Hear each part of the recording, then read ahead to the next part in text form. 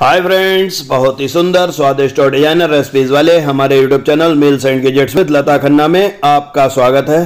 Friends आज हम केवल 10 मिनट में बहुत टेस्टी और बहुत कम लागत में तैयार होने वाली सूजी की ऐसी मिठाई बनाएँगे, जिसे आप बार बार बनाने को मजबूर हो जाएँगे।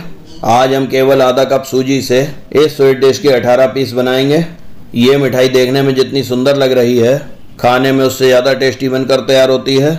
इस मिठाई को आप जिसे भी खिलाएँगे, वो पहचान नहीं पाएगा कि आपने इसे घर में सूजी से बनाया है। तो चलिए बनाना शुरू करते हैं। इसे बनाने के लिए हमने आधा कप सूजी ली है। इस सूजी को हम मिक्सी के ग्राइंडर जार में डालकर पीस लेंगे। यदि आपके पास महीन सूजी है, तब भी आप इसे मिक्सी जार में डालकर पीस लें। हमारी सूजी पिसकर तैयार हो गई है। अब हमने गैस पर मीडियम फ्लेम पर एक कढ़ाई रख दी है। इस कढ़ाई में हम दो टीस्पून देसी घी डाल देंगे। घी के मेल्ट होते ही हम कढ़ाई में पिसी हुई सूजी डाल देंगे। हमें पैन में इतना घी डालना है ताकि हमारी सूजी डूब जाए। पैन में सूजी डालने के बाद हम इसे लो टू मीडियम फ्लेम पर चलाते हुए भूनेंगे। हमें सूजी का कलर नहीं चेंज करना है। इसे लो फ्लेम पर बहुत आराम से भूनना है। इसे भूनने में हमें तीन चार मिनट लग जाएँगे। भूनते भूनते जब इसमें से भीनी भीनी खुशबू आने लगे, तब समझ लें सूजी भुनकर तैयार हो गई है।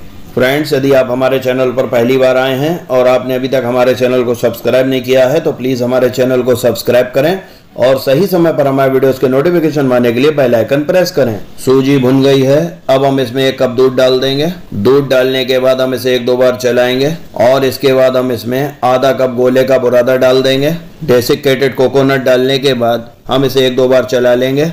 इसके बाद हम इसमें आधा कप चीनी डाल देंगे। चीनी डालने के बाद हम इसमें आधा चम्मच इलायची पाउडर डाल देंगे। हमने दो तीन चम्मच गर्म दूध में थोड़े से केसर के धागे घोल लिए हैं। इस घुली हुई केसर को हमने पैन में डाल दिया है। इस सभी मटेरियल को पैन में डालने के बाद हम इसे अच्छे से चलाकर मिला लेंगे। हम इसे लो टू मीडियम फ्लेम पर लगातार मिलाते हुए चलाते रहेंगे। यदि आपके पास कोई मेजरिंग कप नहीं है तो आप नाप के लिए एक कटोरी सेट कर लें। हमने जितनी सूजी ली है, उतना ही गोले का बुरादा लिया है, उतनी ही चीनी ली है। दूध की क्वांटिटी हमने सूजी से जस्ट डबल रखी है। देखिए पैन में पक रहा बैटर अब धीरे धीरे डो का शेप ले रहा है और अब ये पैन में नहीं चिपक रहा है। पैन के मटेरियल का डो अब बनकर तैयार हो चुका है। अब हम इसे कढ़ाई से निकाल कर एक बोल में शिफ्ट कर लेंगे। देखिए, हमने इस मटेरियल को एक बोल में शिफ्ट कर लिया है। इस मटेरियल के हल्का गुनगुने होते ही हम इसके पेड़े बनाना शुरू कर देंगे। हमें इसे बिल्कुल ठंडा नहीं करना है, क्योंकि ठंडा करने से हो सकता है इसमें क्रैक्स आ जाएँ। अब हम मिठाई बनाना शुरू करते हैं। इसके लिए थोड़े से मटेरियल को हम हाथ में लेकर इससे एक बॉल तैयार करेंगे। अब दिखाए गए तरीके से बॉल के बीचों बीच उंगली से प्रेस करके हम एक गड्ढा बना देंगे और दिखाए गए तरीके से टूथपिक से इस बॉल पर लाइन की डिज़ाइन बना देंगे। बॉल के बीच में हमने जो जगह बनाई है, उसमें हम घिसा हुआ पिस्ता भर देंगे। इसके बाद इस मिठाई पर हम एक केसर का धागा लगा देंगे। देखिए, हमारी बिल्कुल हलवाई स्टाइल बहुत ही टेस्टी मिठाई का पहला पीस तैयार हो चुका है।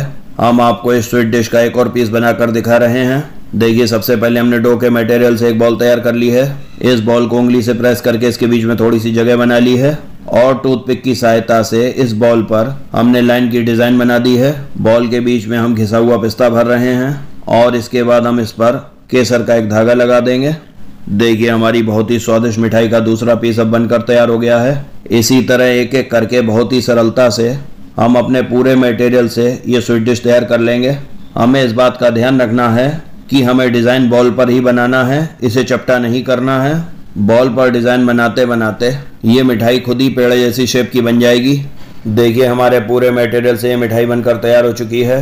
हमारे द्वारा बताई गई ये स्वीट डिश इतनी टेस्टी और सुंदर बनकर तैयार होती है कि आप इसे जिसके सामने भी सर्व करेंगे, कोई मानेगा नहीं कि आप इसे मार्केट से खरीद कर नहीं लाए हैं। और सूजी से बने होने की वजह से ये मिठाई खाने के बाद हमारा जी भारी नहीं होता है। तो फ्रेंड्स यदि आप भी हमारे द्वारा बताई गई विधि से इस मिठाई को घर में बनाएँ तो प्लीज़ हमें कमेंट करके अवश्य बताएँ, आपको कैसी लगी। हमें आपके अमूल से और कमेंट्स का इंतज़ार रहता है। फ्रेंड्स सूजी से बनी स्वीट डिश की रेसिपी का ये वीडियो अगर आपको पसंद आया हो तो प्लीज़ इस वीडियो को लाइक शेयर करें। हमारे चैनल को सब्सक्राइब करें बेल आइकन प्रेस करें। हमारी अन्य स्वादिष्ट रेसिपीज़ के वीडियो के लिंक इस वीडियो के अंत में और आई बटन में पड़ा हुआ है। Thank you for watching